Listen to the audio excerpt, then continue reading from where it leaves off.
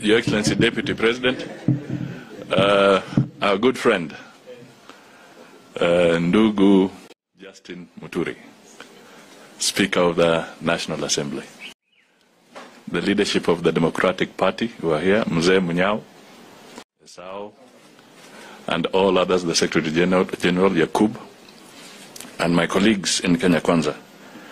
First, I just want to express two things.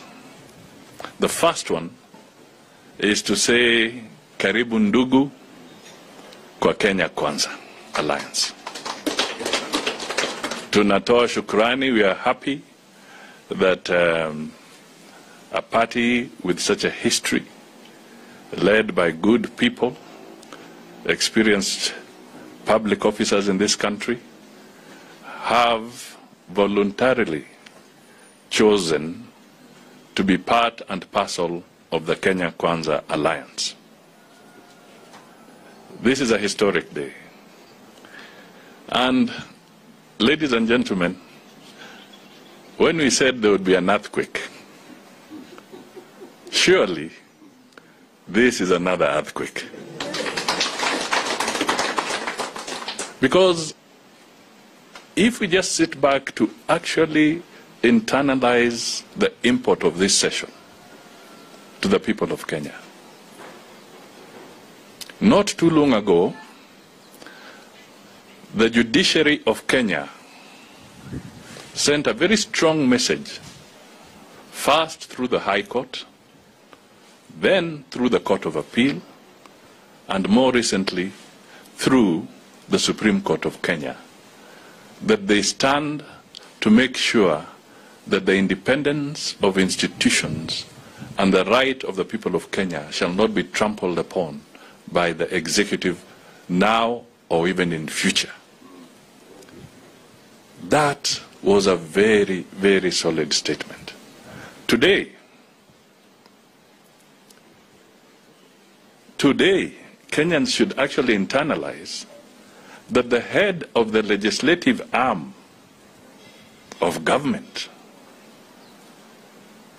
is also sending a very clear message to the Kenyan people. Because this is the head of the Democratic Party, but please don't forget that he's the Speaker of an arm of government recognized in the Constitution. He also sending a very clear message to the people of Kenya that democracy cannot be undermined and should not be undermined. So we salute you, we salute you, and we salute you yet again. Finally, today is supposed to be a deadline um, for political parties to submit uh, documentation uh, to the registrar of political parties. And that is if you are putting in your papers as a coalition party. Because the, recent amendments to the Political Parties Act introduced the component of a coalition political party.